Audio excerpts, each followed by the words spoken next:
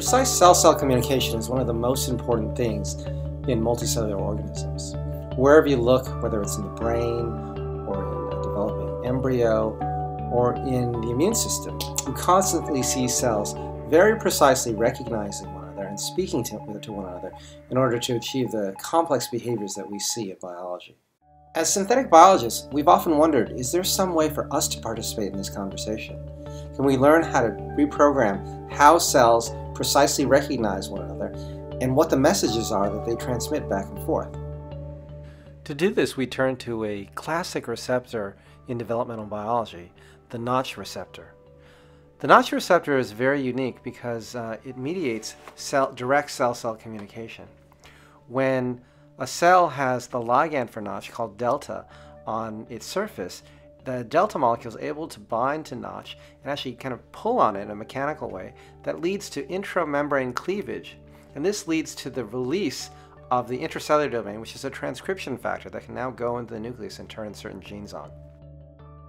What is remarkable is that you can remove the sensing and response domains from Notch and replace them with different recognition or transcriptional domains creating a synthetic notch, or what we call SynNotch receptor. These SynNotch receptors can detect a novel input and in response activate a novel transcriptional output.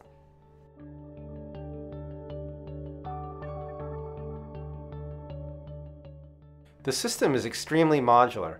By using different domains, one can generate a large set of orthogonal receptors and pathways.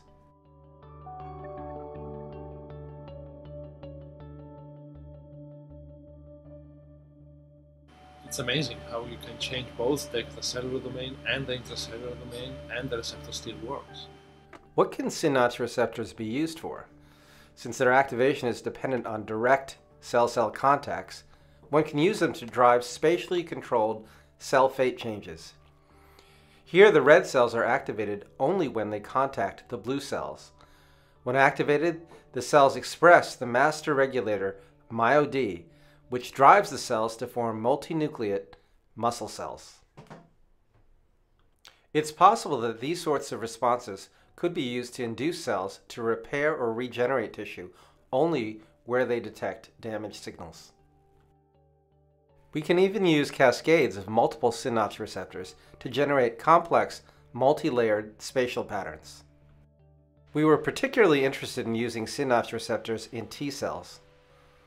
One of the most exciting developments in the last few years is the use of chimeric antigen receptors, or CARs, to redirect T cells to find and kill cancer cells based on recognition of a specific cancer antigen.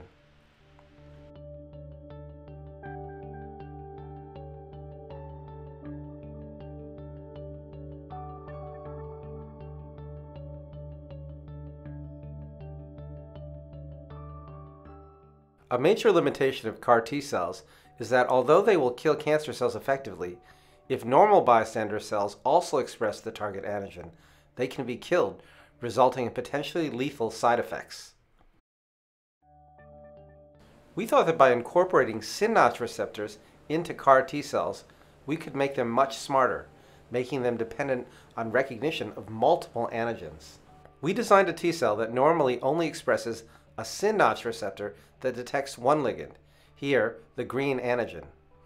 But engagement of this receptor will trigger expression of a CAR receptor directed against a second antigen, in this case the red molecule.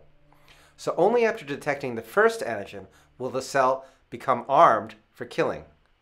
Because these T cells are basally unarmed, they should be neutral to bystander cells. So we made these cells and tested them in vitro, but we really wanted to see if they could discriminate between tumor and bystander cells in vivo in a mouse model. What we observed is that the engineered T cells essentially ignore the bystander cells that only have one antigen. But in the tumor, we see the T cells become armed and activated, and they begin to kill the cancer cells, eliminating the tumor in a highly selective manner. For the T cells, finding a cancer cell in the body is like trying to find one individual in a crowd. Just one feature, like a mustache, is usually not enough to pick that person out. But if you use multiple features, like a mustache, glasses, and red hair, the combination of these features can allow you to single out the person you are looking for far more effectively. These sorts of circuits will allow these T cell therapies to be used in a broader range of diseases and could also be helpful with treating solid tumors which have been difficult to treat with the current CAR T cell therapy.